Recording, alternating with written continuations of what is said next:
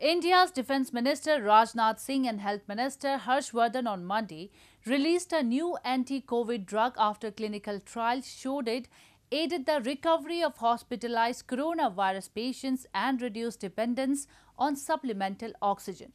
This came as the country's daily spike of coronavirus cases remained below the 300,000 mark for the first time since April 21 on Monday.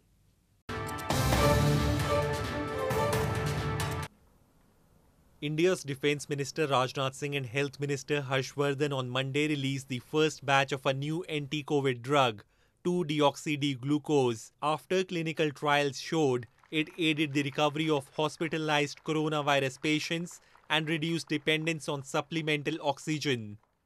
The drug was jointly developed by India's state run Defence Research and Development Organization and Hyderabad based Dr. Reddy's Laboratories Limited. The Drugs Controller General of India had earlier approved the drug for emergency use. It comes in powder form in a sachet, which is taken orally by dissolving it in water. It accumulates in the virus infected cells and prevents virus growth by stopping viral synthesis and energy production. और यह drug जिसका यह ईजाद हुआ है यह आशा और उम्मीद की एक नई किरण लेकर आया है यानी हमारे देश के सामने एक बड़ा से बड़ा कोई चैलेंज आए तो हमारे वैज्ञानिकों के अंदर वह क्षमता है वह ताकत है। तो उसका मुकाबला वह कर सकते हैं। और जो यह ड्रग का इजाद किया गया है, मैं समझता हूँ कि हमारे देश के वैज्ञानिकों की एक जो साइंटिफिक कैपेबिलिटी है उसकी भी एक मिसाल है।